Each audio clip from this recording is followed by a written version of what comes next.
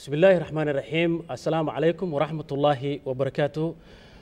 Good evening, all of you, ladies and gentlemen. This is uh, Regional Somali TV.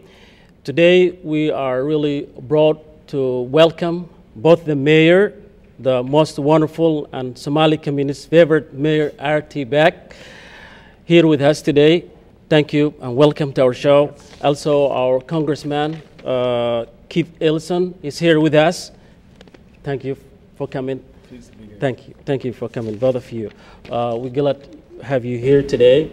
Uh, Mayor, uh, first of all, if I want to tell you a little bit, I think you know the mayor more than me, so I want to tell you a little bit about the mayor.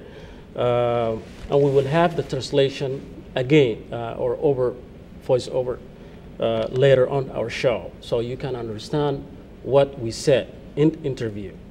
Uh, Mayor R.T. Rybak was first elected mayor of Minneapolis in 2001 in his first run for the public office and was overwhelmingly elected in 2005 to serve another term for the Minneapolis, Minnesota.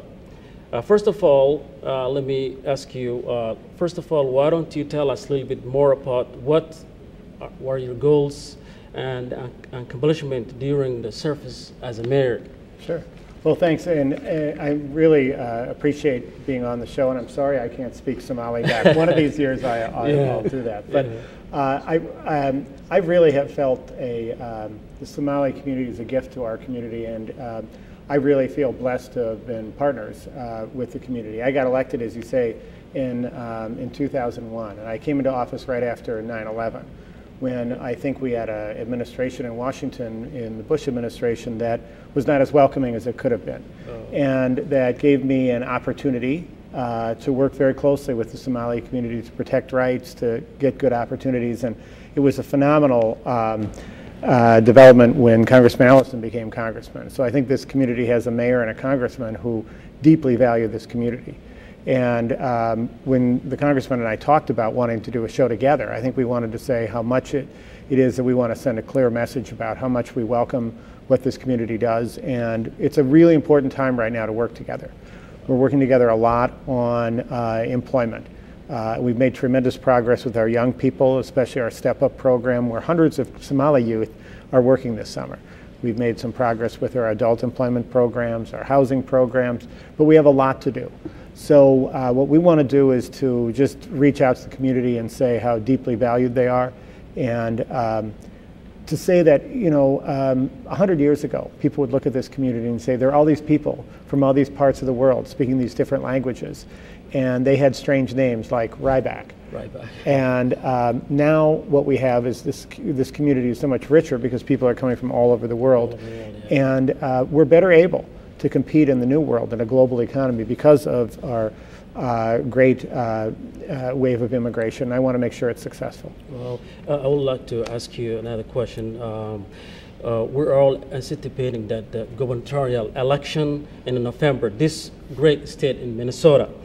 Uh, Minnesota is considered a progressive liberal state, and the DFL did not win the gubernatorial seat since 1982. As a DFL mayor, what are your expectations and hopes of this coming election in November 2010? Well, actually, my hope was that I'd be running for it, but, but I didn't. I lost. But I'll, I'll be supporting Margaret Anderson Kelliher, who's running for governor. But more important, I think, is the idea that right now, um, Somalis have jumped into this community um, and become deeply important political partners. They played a role in getting me elected three times. It played a role in electing Congressman Ellison. It played a big role in electing Barack Obama president. And I think uh, I'm going to call on the communities to do what the community has always done. I would say out of any community in Minneapolis, the most engaged, knowledgeable about basic affairs of what's going on are Somalis.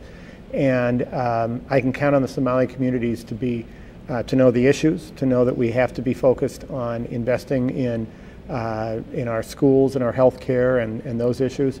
And I ask you to pay attention, like you always have. And my knowledge, my experience is that when you, um, and when election comes up, Somalis engage, they ask the tough questions, they get out and they, they participate, and they, I think, are a great example of democracy, and I know you'll Yeah, do well, well. that's really good. I'm gonna just uh, jump on and ask uh, introduce you, uh, our congressman, U.S. Representative uh, Keith Ellison. Uh, welcome to our show, Keith. Oh yeah, very pleased to be here. Salam alaikum. Alaikum salam. Barakatuh. Yeah, Oh, I yeah. think I think this is not the first time to come to Somali TV. Not the first time, and Mahat said it for having me here. it. Wow, that's really great.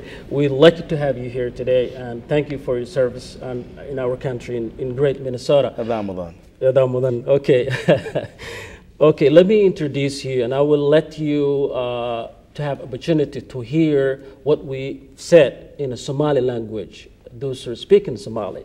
Uh, first of all, uh, uh, Keith Ellison, he became the first Muslim American to be elected in the United States Congress. He won in Minnesota 50 congressional district, which centers on Minneapolis in the House Representative. In 2006, he also first African American elected to the House from Minnesota, currently serving in 11, uh, 11 111 United States Congress. Keith Ellison, Ms. Ellison is also active of national level advocacy Congress uh, for Muslims living in the United States.